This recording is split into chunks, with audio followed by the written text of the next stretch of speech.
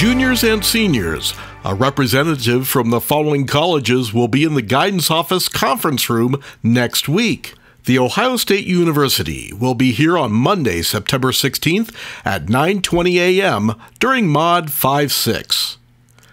Westminster College will be here Tuesday, September 17th at 8:30 a.m. during Mod 34. Kent State University Tuscarawas will be here on Wednesday, September 18th at 9:20 a.m. during Mod 56.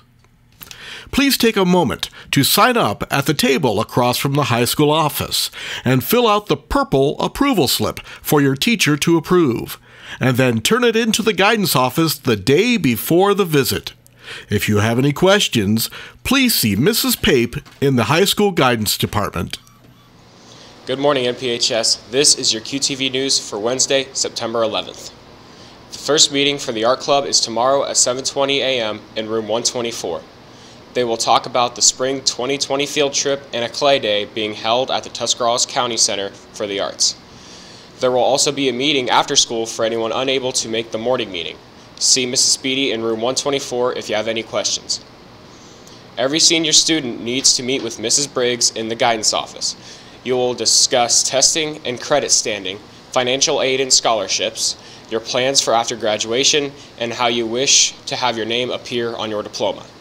You can schedule an appointment or stop by during a study hall or free time. Any student who wishes to be on the homecoming court can sign up outside of the high school office today through the end of the day on Friday. And the homecoming guest application is due September 27th before 3 p.m. These lime green papers can be found just outside of the high school office. The high school speech and debate team will begin their practices on Thursday from 3 to 5 in the library classroom. Anyone who is interested in learning more about the speech and debate team is invited to stop by this Thursday after school.